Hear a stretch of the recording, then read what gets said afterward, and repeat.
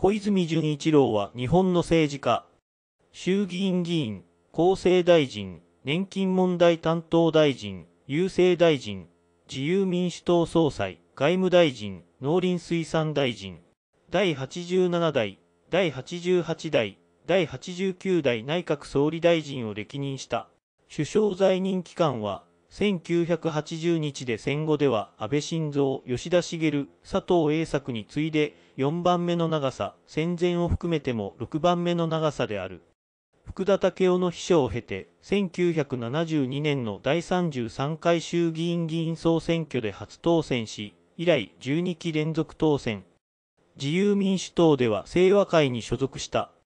また、山崎拓也加藤浩一と YKK を結成し、形成会支配からの脱却や党の世代交代を訴え、グループ新世紀を旗揚げした。竹下政権にて厚生大臣として初入閣、宇野政権、橋本政権でも厚生大臣を務め、宮沢政権では郵政大臣を務めた。森喜朗の後任として自由民主党総裁に選出され、2001年4月に内閣総理大臣に就任した。内閣総理大臣の在任期間は1980日で、第二次世界大戦後の内閣総理大臣としては安倍晋三、佐藤栄作、吉田茂に次ぐ第4位。平成の時代においては安倍晋三に次ぐ第2位の長期政権である。2009年の第45回衆議院議員総選挙には立候補せず、次男の新次郎を後継に指名し政界を引退した。引退後は奥田博、田中直樹らとシンクタンク、国際公共政策研究センターを設立し、その顧問を務めた。公益財団法人日本尊厳死協会の顧問を務めている。1942年1月8日、神奈川県横須賀市に父小泉純也と母吉江の長男として生まれる。母方の祖父小泉又次郎は、第二次若月内閣で帝臣大臣を務め、若い頃に全身に入れ墨を彫っていたことから、入住大臣入住の又さんなどの異名で知られる大衆政治家だった。戦後、又次郎と住谷は相次いで公職追放にあったため、小泉家の経済状態は決して恵まれていたわけではない。医療克美によれば、日本全体が食べるのに必死だったけど、小泉家もまだ貧しくて、夕食の食卓には鋳物にっころがしなんかが並んでいた。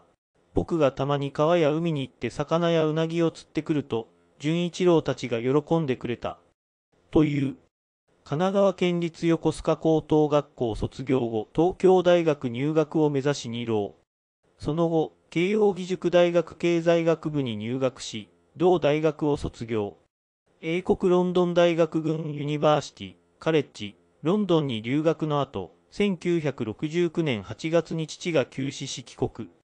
同年12月、暴府の後を継ぎ、弔い選挙となった第32回衆議院議員総選挙に神奈川2区から自由民主党公認で立候補し、10万3000票余りを獲得するが、4000票差で落選した。福田赳夫の議員秘書を務め、後に総理となる福田から政治家としての薫陶を受けた。社会人生活の第一歩を浪人でスタートした小泉は、毎朝4時に起床した。横須賀駅5時半発の電車に乗って2時間かけて世田谷区にある福田武雄邸へと通った。福田のもとには初当選したばかりの塩川正十郎がいた。当時のことを塩川正十郎は週刊文春の阿川沢子との対談でこう語っている。そうそう。彼は早起きで福田さんの家の玄関で靴揃えておったね。下足番だったの。で、代議士が帰るとき、モータープールで南先生を帰りを車当て運転手を呼んでたの。だから僕は彼のホームページにまさか総理大臣になるとは思わなかったって書いたんです。大変な苦労をしてますよ。その時、福田さんがこいつは意地の強いやっちゃ。なかなかしっかりしとる。だから大物になったらとんでもない大物になるけど、はぐれたら処置ないやつぜと言うたことがあるの。福田邸で秘書の仕事は午前中で終わり、午後からは地元横須賀で自身の政治活動を行っていた。1972年12月、第33回衆議院議員総選挙で自民党公認として立候補し、12万2000票余りを獲得し初当選。清和会に属し、後に首相秘書官となる飯島勲が秘書となった。また、同期の山崎拓、加藤浩一と懇意になり、YKK と呼ばれることとなる。1978年に SS 製薬の元会長帯同正山の孫、宮本佳代子と結婚。この結婚に父親的な存在だった帯同正山は反対だったという。帯同正山の血縁者は結局、休み地下とは絶縁寸前まで行った。出ていくならその体一つで行けという具合。それでも小泉さんから何の心配もいらない。僕たちの結婚には関係ない。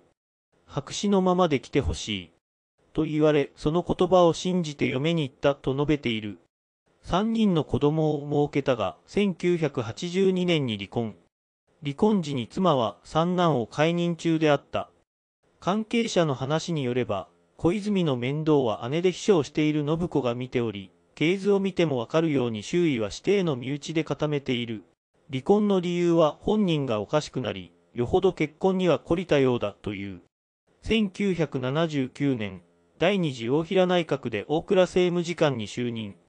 ポストに執着せず、もっぱら政策の習熟に徹していたが、古文を作らない一匹狼的な行動をとり、言いたいことを直言し、与野党政治家の既得権益を害する優勢民営化論を主張することもあって、永田町では変人と評されるようになる。1988年、竹下改造内閣で厚生大臣として初入閣、